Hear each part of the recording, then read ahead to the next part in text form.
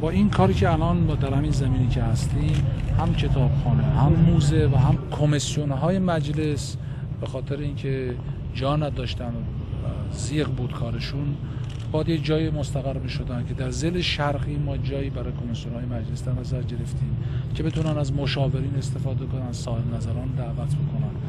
و یک فضای منطقی برای ارتباط با نخبگان فراهم بشه.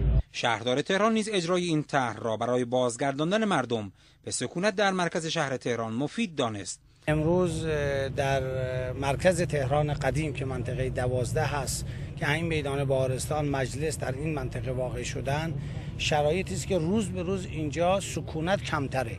یعنی اینجا در واقع تبدیل به یک بازار کار به صورت ناقص شده و عمدتا کسانی که اینجا زندگی می‌کنن کار زندگی و کارگاه رو تو هم با هم دارن.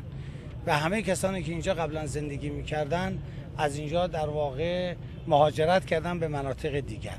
سیاست قطعی ما در شهرداری تهران این هست که سکونت رو دو مرتبه به منطقه دوازده برگردونیم.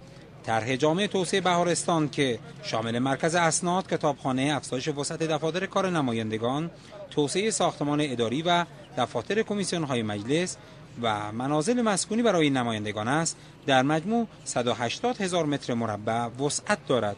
هزینه تر در پیش بینی که مشاور کرده در مجموعه این اتفاقات در افق تر 400 میلیارد تومان است. بودجه امسال مجلس 100 میلیارد تومان پیش بینی شده که انشاءالله از محل واگذاری مجلس قدیم به نهاد ریاست جمهوری به عنوان باز یک فرصت برای کارهای مدیریتی کشور یک بخشی هم از اون منابع تأمین خواهد شد که امسال انشاءالله 200 میلیارد تومان پیش بینی شده و بقیه اعتبار در سال 91 انشاءالله تأمین خواهد شد. حد اکثر مدت اجرای این طرح دو ساله.